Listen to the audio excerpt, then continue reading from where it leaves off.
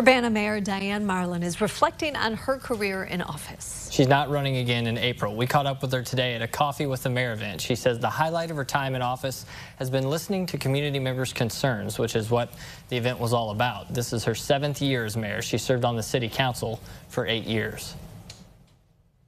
I'm going to miss the opportunity to make change, which is one of the reasons I ran for office. We have uh, fixed a lot of things in city government. We've rebuilt our internal infrastructure. We've restored financial stability to the city.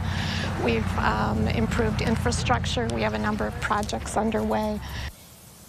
Marlin says she will remain involved in the community after her term ends. She's looking forward to traveling and spending time with family in retirement. All right.